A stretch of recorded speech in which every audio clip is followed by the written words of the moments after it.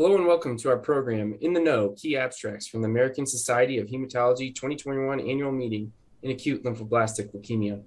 This program is supported by an independent medical education grant from Jazz Pharmaceuticals.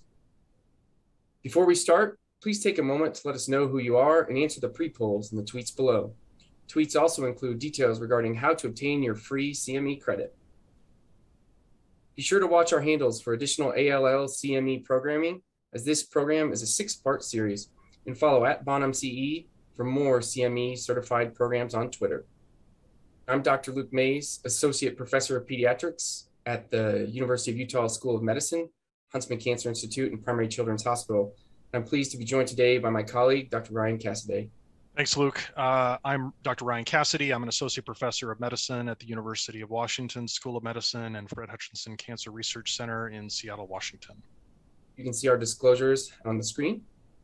Today we'll be discussing blinatumomab, which is a bispecific CD19 directed CD3 T cell engager indicated for the treatment of adults and children with CD19 positive B cell precursor acute lymphoblastic leukemia in first or second complete remission with minimal residual disease, also known as MRD, greater than or equal to 0.1%, as well as in relapsed or refractory CD19 positive B cell precursor acute lymphoblastic leukemia. Both of these studies assessed the value of blinatumomab based on risk, which included MRD status as part of risk classification, but was not based on MRD status alone. So this educational activity will allow for review of recently presented clinical trial data in low risk first relapse of B cell ALL in children, adolescents, and young adults, along with reviewing a recently presented clinical trial in high-risk Philadelphia negative acute lymphoblastic leukemia adult patients. We'll be discussing the randomized phase three trial of blinatumomab versus chemotherapy as post-reinduction therapy in low-risk first relapse of B-cell acute lymphoblastic leukemia in children, adolescents, and young adults, which was a report from the Children's Oncology Group study AALL 1331. This study was led by Dr. Pat Brown uh, and was a seminal report within pediatric relapse disease. So here we will first review the objectives, inclusion criteria, and the endpoints of the study. The objective was to determine if substituting blinatumomab for intensive chemotherapy and consolidation would improve survival in first relapse of childhood in AYA, acute lymphoblastic leukemia. The study included children, adolescents, and AYAs aged 1 to 30 years in first relapse of their B cell ALL. This report is only focused on the low risk population and this was defined as post block one of chemotherapy, which included patients who had late marrow relapse within the COG. This is classified as greater than or equal to 36 months, and an end of block one minimal residual disease less than 0.1%. Additionally, the population also included late isolated extramedullary relapse patients. This definition is greater than or equal to 18 months. And they also needed an end of block one MRD less than 0.1%, or they could have an indeterminate MRD based on central analysis. Patients were excluded if they had Down syndrome, Ph positive disease, a prior transplant, or prior exposure to blinatumomab itself. The endpoints revolved around disease-free survival and overall survival. Patients were randomized one-to-one to a control chemotherapy arm, arm C, versus an experimental arm containing blinatumomab, arm D. After block one randomization, all patients received the second block of arm C, proceeding to block three based on the UKALLR3 chemotherapy backbone, followed by two continuation blocks and maintenance to complete two years of therapy.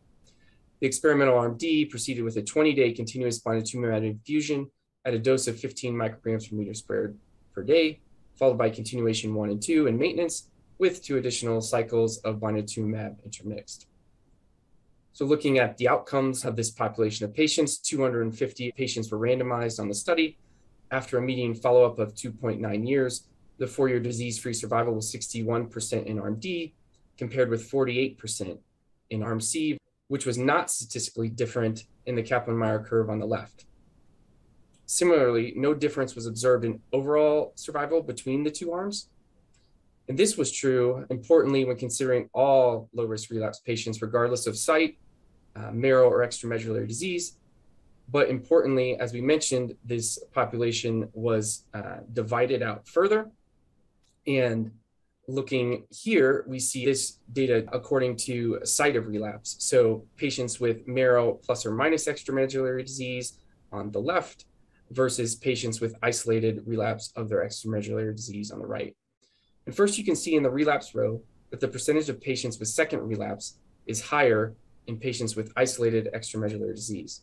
And for bone marrow relapses, there was a significant difference between the two arms in both four year disease free survival and overall survival, as highlighted in the red box, at 84% in arm C versus a superior overall survival in arm D at 96.6%. However, no difference was observed in disease free survival or overall survival for patients with isolated extramedullary disease.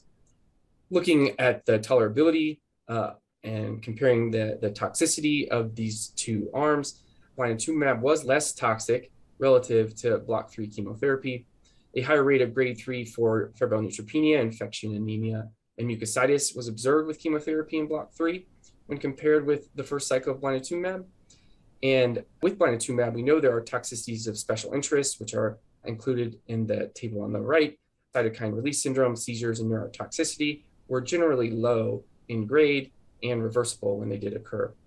There were higher rates of blinatumomab related adverse events in cycle one and lower uh, rates in subsequent cycles, which has been reported in other investigations of this medication.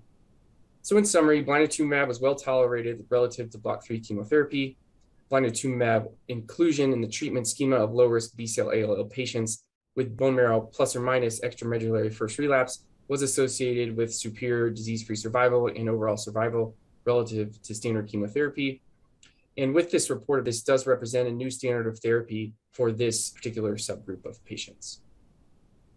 Thanks, Luke, for that summary. Um, I was hoping I could ask a couple questions and make a couple comments. So, you know, the first thing that that strikes me about these data, uh, the control arm, so the, the the arm that got standard chemotherapy, considering that these were all uh, considered to be low risk patients in first relapse, it didn't appear to uh, perform quite as well as historically one would expect. Um, you know, there's some possible explanations for that. Later administration of cranial radiation, or possibly because we've gotten better at managing frontline uh, ALL. Uh, so the people who relapse are going to have, uh, you know, sort of worse disease, so to speak. Um, so, you know, based on the, those sort of, you know, hypotheses or findings, I'm curious, how does that impact how you interpret the results of the, the, the experimental arm, the blinatumomab arm? These are great points, and I think there's so much to be gleaned from the study, right? I think you made a, a key point there in the middle uh, regarding the changing uh, the changing environment of our relapse patients. This is both in in all you know pediatric AYA adult patients, right? We're our upfront protocols uh, are different than they were 20 years ago, and so you know the the relapse um, the relapse patients are going to be different as well. And and and Dr. Brown, who who uh, led the relapse kind of uh, uh efforts within COG, consistently goes back to that. And I think that's important when we're thinking about these patients. And, and you made a good point. I do also agree um, about the radiation. I think um, the radiation uh, was administered, you know, a little bit differently uh, on this trial. Uh, and you know, we, we know that that that that this can can uh, have effects on on outcomes in, in this group of patients. I would also add which we didn't really talk about in this review, but the, the abstract does. And so I encourage um, everyone to go back and look at it. And there will be a manuscript that comes out uh, as well. Uh, but uh, when you look at, at patients by age, right, we know that, that older patients um, often have more difficulties, certainly in the pediatric AYA range. Um, you know, greater than 18 uh, years of age um, in, in, this subgroup of patients did fare worse. And, and, and those patients are actually going to be separated out in in in um, future studies and in our future current study that's going on this group of patients is uh, you know is, is being separated out uh, so so another kind of thing to think about as well yeah for sure thanks um, and then lastly the as you as you concluded uh, with your summary that you know the author's conclusion from this study was that the they indicate that blinatumomab based regimen like this is now the new standard of care for low risk patients with ALL uh, in first relapse, either with bone with bone marrow and or extramedullary disease. So sort of this represents a new standard for these lower risk patients. Would you agree with that conclusion? I would to a certain extent. I do think that um, you know using blinatumomab is is an is a new standard for these patients. Uh, one caveat to this too, though, would be you know the, the the chemotherapy backbone. I think that there is some more nuances to the data which shows that maybe some of these patients do have a little bit higher risk of an extramedullary disease relapse um, after getting this this base regimen. And you know this is likely right due to the fact that blinatumomab does not penetrate the CNS, right? And, and, we know that that's a fact. And so we need to optimize our chemotherapy uh, for uh, that protection for these patients as well. And, and, we're doing that in our new study, and and, and uh, we will we will see kind of the results of that. Great, thanks a lot for for that discussion. Uh, so I'm going to take the reins now and move on to a second study that was presented at last year's ASH meeting. This now going to be uh, in adults uh, with B-cell ALL, and, and, distinctly, while this is also a study of blinatumomab, this is frontline treatment. So this is frontline consolidation with blinatumomab for high-risk Philadelphia chromosome negative acute lymphoblastic leukemia patients. Uh, early results from the GRAALL 2014 Quest phase two study. The objective of this study was to assess the benefit of blinatumomab as part of consolidation and maintenance therapy in adult patients with high risk Ph negative B precursor ALL. Key inclusion criteria, as stated here, these were all high risk adults between the ages of 18 and 59.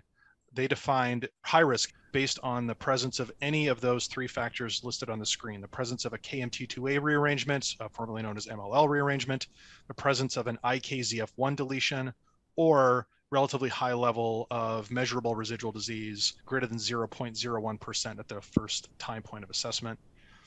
Additionally, patients had to be in complete remission prior to starting consolidation block two, and they had to have a relatively low level of CNS involvement, no significant CNS involvement at diagnosis. Key exclusion criteria, again, this was a study of Ph negative disease, so they could not have the Philadelphia chromosome and they could not have a poor performance status. The primary endpoint for the study is disease-free survival at three years, with secondary endpoints including tolerance, overall survival, cumulative incidence of relapse, non-relapse mortality, and then looking at minimal residual disease responses. So the Quest substudy treatment uh, schema is depicted here. So uh, as is fairly typical for ALL regimens, it's a bit complicated, so a bit hard to, to summarize on a single slide. But you can see on the left the different components. There's a prednisone prephase followed by a five drug induction, which includes cyclophosphamide, prednisone, vincristine, daunorubicin, and asparaginase. And then there are these consolidation blocks of therapy with blinatumomab coming in during the second consolidation course. And then there's a delayed intensification for those that do not go on to allogeneic stem cell transplantation with additional cycles of blinatumomab thereafter, including importantly on the far right, the patients that don't go to stem cell transplant in first remission uh, the blinatumomab was continued intermittently during their two years of maintenance therapy. So it's a relatively uh, prolonged course of treatment with uh, continued exposure to blinatumomab really throughout the first, you know, almost year of their treatment.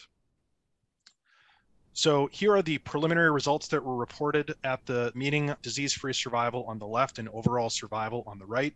94 patients were included here, and you can see the 18-month disease-free survival of nearly 80%, and the 18 month overall survival of a little over 90%.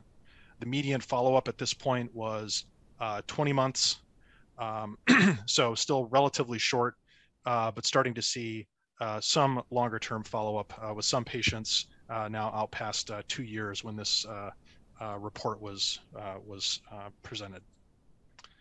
Now, if we look at the MRD status over time and how blinatumomab affected that, the color coded bar graph on the left capturing MRD status at different time points during their course of treatment. TP1 is time point one. Then there's the assessment that occurs pre blinatumomab, so basically pre consolidation two, and then post blinatumomab after their first exposure.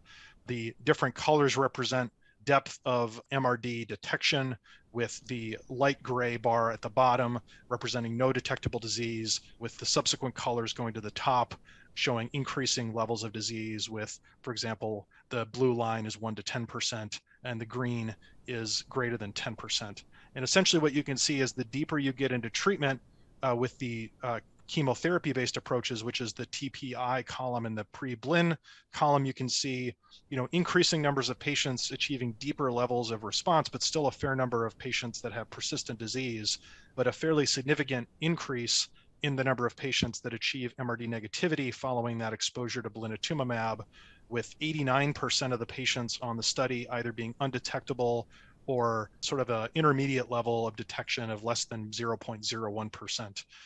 Importantly, though, if we look at the figure on the right, this is now looking at disease-free survival based on MRD status after blinatumomab. And you can see excellent disease-free survival in the blue line, which are the patients that were MRD negative after blinatumomab. The gray line, however, here are the patients that still had detectable disease after blinatumomab. And you can see that a significant proportion of those patients ultimately had uh, relapse or death in this case. So a pretty significant difference there with a hazard ratio of four and a half and a p-value of 0.01. Importantly, the addition of blinatumomab to frontline consolidation therapy was safe, uh, which is you know largely re, uh, recapitulating what's been described in other uh, studies, including the one that uh, that Luke presented earlier. The rates of CRS were very low. Neurotoxicity was relatively uncommon, with a number of these events actually happening fairly late after exposure after a stem cell transplant.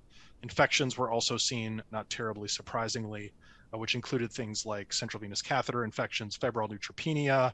Uh, in the era of COVID 19, there were some cases of that as well. Uh, other fairly uh, germane uh, infections, nothing particularly uh, striking or noteworthy. Importantly, while this is a preliminary report, more data are needed to determine the value of blinatumomab by risk rather than MRD.